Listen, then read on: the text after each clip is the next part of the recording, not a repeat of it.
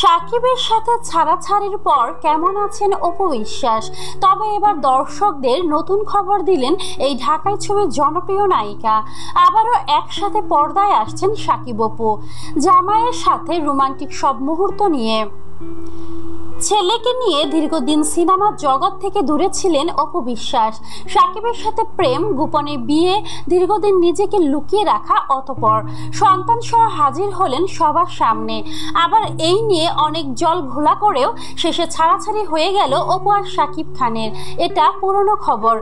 তবে এবার নতুন খবর দিলেন অপু নিজেই অপু জানালেন তার ছবি মুক্তি পাচ্ছে এবারে রমজানের ঈদে।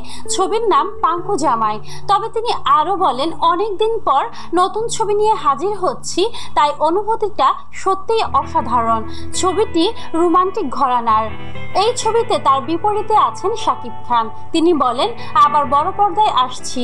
তবে ছবিটি ঈদে মুক্তি পাবে বলে নিশ্চিত করছেন ছবিটির নির্মাতা আব্দুল মান্নান। তিনি বলেন, ছবির কাজ শেষ করতে প্রায় তিন বছর লেগেছে।